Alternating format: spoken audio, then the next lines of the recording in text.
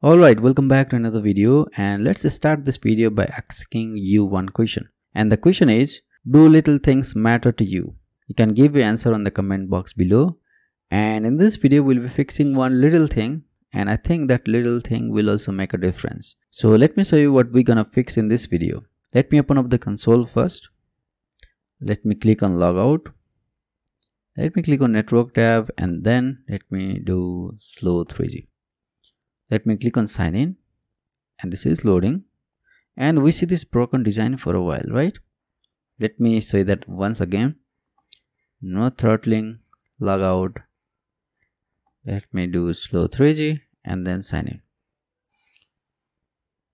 And we see this broken design for a while so in this video we are gonna fix that little issue and i think that little thing is creating something like the app is broken right? So in this video we will be fixing that and i will show you how we can do that step by step. So make sure to watch this video till the end. So now let's get started. Let me open up the code editor and let me go to app.js file first. Over here we are adding the middleware before its route and then let me comment this code to show you. Here we are getting the user and now if i refresh the page let me do no throttling. And if we don't have user then we are getting this page right? We are getting this design. But if we uncomment this and refresh it we see that broken design for a while and then we see this design. But if we don't have user then we just see that broken design right? So there is something we need to fix here. So we shouldn't show this design unless we have the user uh, in our state right so for that we can use async await. So let me show you how we can do that. Let me go to get user auth user. And over here we can make this function as async. And this is await. And then we can go over here and make this as await. And let's make this as async. Okay? And here we are making this function as async. And this is await. Here we are waiting for the response. And then will show the dashboard page. If i go to login.vue file here we are sending the post request to this route and we are calling router.push to this endpoint called admin slash dashboard right?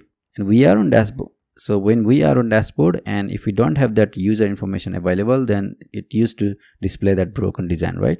But now we are ma making that as async and await so that it will only display the dashboard page if we have the user so let me refresh this and show you. If i refresh this we don't see the broken design anymore right? Let me show you on slow 3g as well. Let me refresh it. And it is loading. And we don't see that broken design. Let's do the same for settings over here. So let's make this as async function. Sync, and then await and then let's make this as await okay. Now let me show you. Let me click on no throttling let me click on logout. Let me click on sign in.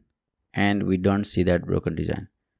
And let me show you one more thing. Let me click on logout. Let me open up this console. Let me click on sign in. Okay.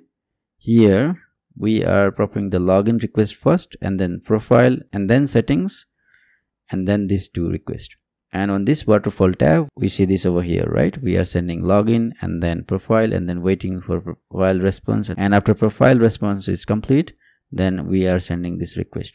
And here we can group these two requests and send this request in parallel so that we don't need to wait for each uh, response to come back. So let me show you how we can do that. Over here we can do promise dot all. And inside this we can pass the arrow function so let's do auth user store dot get user and then another function is setting store dot get setting. And let's define this over here. And we can remove it. And make sure to use await over here. Otherwise you will get the same broken design right? Here we need to use await. And now let me show you that. Let me log out. Clear this let me do slow 3g click on sign in. We are sending the login request first and then these two requests at the same time. You can see over here as well which is great. So finally we fixed that issue. So now the app is looking much more smoother. Let me show you once again. Let me click on logout.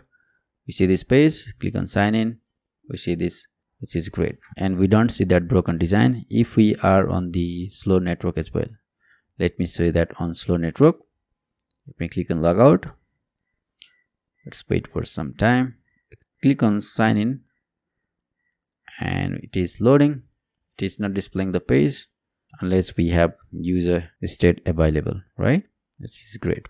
Alright this much for this video. I hope this video was helpful for you. Make sure to like share and subscribe to this channel as i will be uploading the videos like this. So till then have a great time and i will see you on the next one